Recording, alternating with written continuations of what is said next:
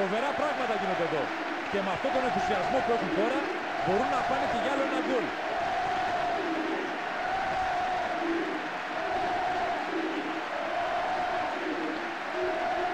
Η ατμόσφαιρα πριν και κατά τη διάρκεια του αγώνα ήταν φανταστική.